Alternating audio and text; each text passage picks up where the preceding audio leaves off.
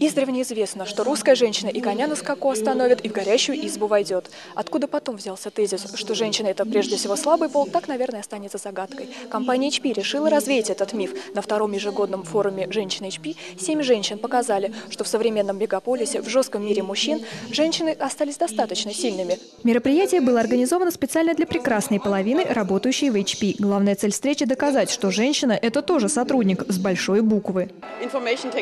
Информационные технологии – очень интересная сфера. Изучив ее, можно понять, как устроен наш мир, откуда берется та или иная информация, как работает рынок. Любая женщина в ЭТ чувствует себя свободнее и увереннее во многих профессиональных вопросах, а значит может сделать карьеру в любой сфере. Действительно, бизнес-вумен для России уже нормальное явление, но женщины на государственной службе по-прежнему наталкиваются на стереотипы. Женщин довольно мало вот, в государственных э, то, что я наблюдаю на высоких позициях.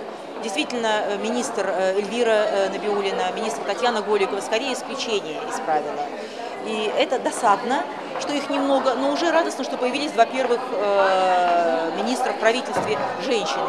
И мне хочется верить, что их будет больше. В частности, вот, допустим, мое назначение на пост заместителя директора по правым вопросам тому подтверждение. Потому что много достойных женщин, и им нужно давать дорогу. Возможно, благодаря этой великолепной семерке и подобным им остальные женщины найдут точку опоры и силы, чтобы изменить свою жизнь. Мир меняется. Женщина никогда не была слабой. Просто изменились стереотипы. Как бы там ни было, российских мужчин на форуме, к сожалению, наша съемочная группа не обнаружила. По всей видимости, в ближайшее время женщинам придется самим решать свои проблемы.